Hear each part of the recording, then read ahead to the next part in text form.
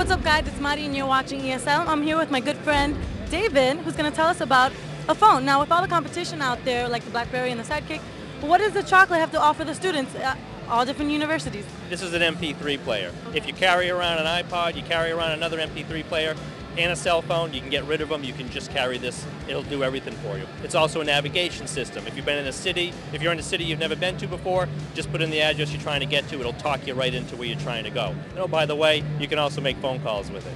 Well, that's always a good thing. Now, how much does this run for? It depends. There's always different specials going on. It might cost you about $150. It could cost less, depending on when you go to buy it.